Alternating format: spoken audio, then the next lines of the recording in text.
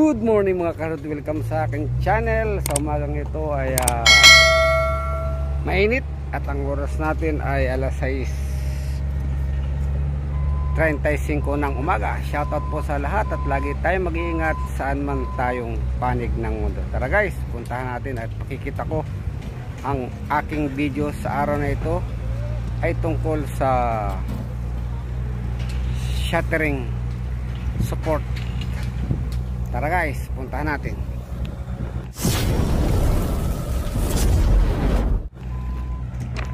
At yun nga guys, andito tayo ngayon sa ating mga pinalalagyan ng forma sa puting. At uh, ito na, naglagay na sila ng uh, suporta. Nilagyan na ng suporta at inalign na rin yung ating forma. Ito guys, tingnan ninyo ito guys ang kanilang uh, suporta. Meron tayo dito uh, shoring jack. Ayan. Shoring jack po ang tawag natin dyan. Ayan. Uh, every 1 meter ang uh, spacing nya tapos dito uh, 70 ang taas nya yan ang tukod nya every 1 meter po yan pare-parehas. At siyempre naglagay ng stopper dyan. At uh, doon naman naka uh, apak dito. At yan po yung ano adjustment yan yan. Pwede mong itulak at pwede rin yan sa ah, yung isang klase niyan pwede rin sa pakabig. Ito pala tulak lang ito patulak. Suporta. Ayan guys at uh, tingnan nyo dapat pare-parehas ang paggawa niyan ang paglalagay oh. Ayan tingnan nyo. At uh, paikot yan ganun din dito ang ginawa.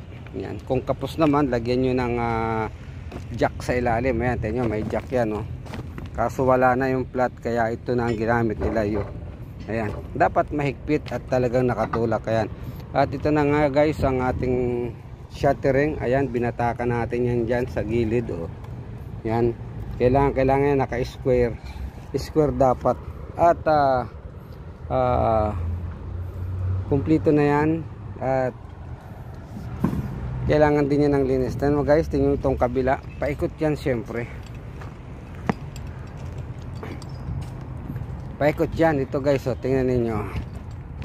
Ayan hanggang dun pare-parehas. At ipakikita ko sa inyo kung paano nila inilak ang shuttering ah guys ito. Tingnan nyo guys oh. At itong maliliit ganun din. Oh.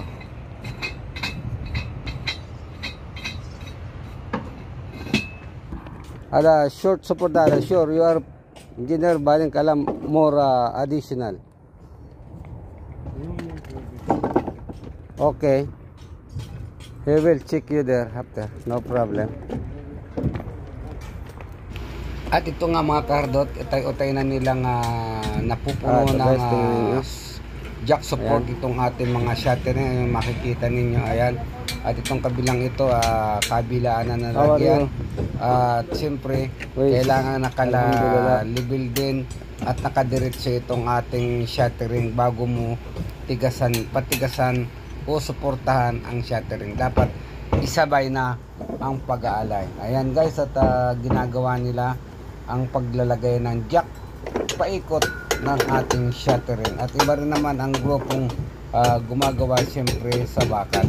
Yung mga karpintero ay sa carpenters at yung mga isa. At yun guys talagang uh, makapal nga itong buhos natin dito at uh, tingnan ninyo kung paano nila inilak yung shuttering sa loob guys. Ito gumamit tayo dito ng uh, uh, lock at gumamit din ng terite. Ito tingnan ninyo. Yan, ito ito ang nagsilbing lock dito. Merong 8 mili at meron lock siya ito.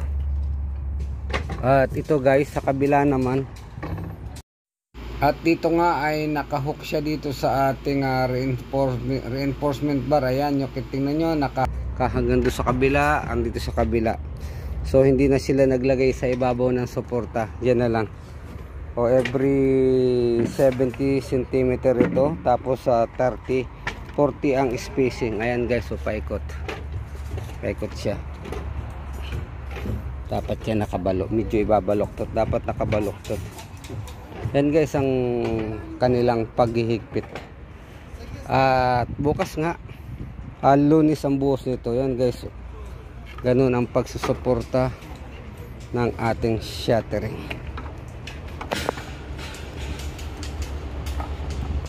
At yun nga guys, ang isang side na ito ay naka-complete na ng ah, suporta yan ng ating shoring jack. Ayun, at ah, kuha tayo ng pan thumbnail. Ayan. Picture tayo ng konti at para may maipakita ko sa inyo yung ah, position yan. Isa sa ilalim, isa sa itaas. Kita ko nga pala, pinaulit ko guys, yung ilalim dapat ng bakal natin ay ganito. Tingnan nyo. Ayan o. Oh. Tama yung L niya, dapat naka-round siya. Pa-round ang style. Hindi naka-diretso. Naka, medyo naka-diagonal. Ayan guys. Ng ating pedestal.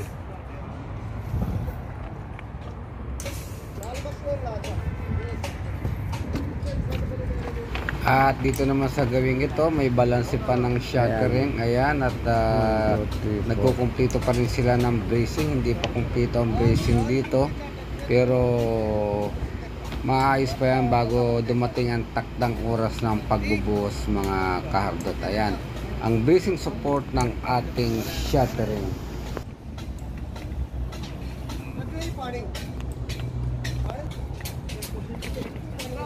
At yun nga kahardot, mga kahardot, iyo pong siguraduhin ah, mahigpit ang mga tie rod. Yan ang mga tie rod na yan. Dapat yan ay nasa mahigpit na yan. Yan pong mga tie rod na yan.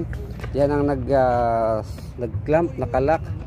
At dito nakalak naman, nakakapit dito sa bakal. Ayan, hihigpitan nila yan. Wala pa itong higpit pero pag ina-align na ito, isasabay na yung paghihigpit dito. Nakahook lang dyan sa loob. Lahat paikot every 75 ang spacing yan dito mayroong 1 meter pwede rin ang 1 meter depende kung ano ang inyong ilalagay depende rin sa thickness yung paglalagay nitong clamp na ganito yan guys at uh, tuloy pa rin hanggang dito ang paglalagay nila ayan hmm. at डिंगा हो जाएगा हाँ निशान लाना ना एक मिनट करो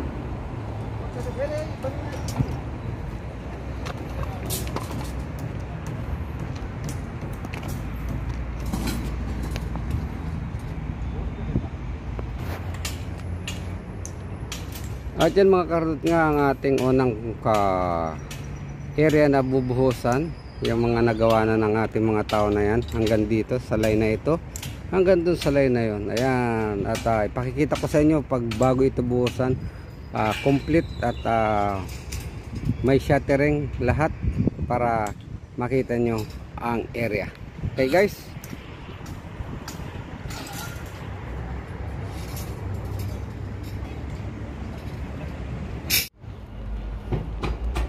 At yung mga kahanting nyo guys, nalagyan na natin dito ng bracing. Ayan, tapos na yan.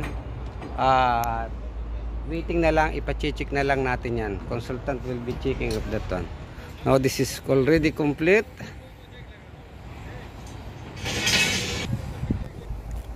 Yan, tapos na yan. Ito, naka-alay na rin ito. Kabilang ito. Alay na din yan. Hmm.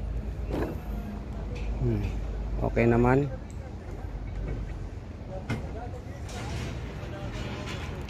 At siyempre mga kardot at pag natapos na ito at complete na lahat ang suporta, siyempre abangan po natin ang pagbubuhos ng konkrito dito sa ating footing foundation. Yan po ang susunod nating ibablog ang pag, ah, ah, pagbubuhos naman. Salamat po.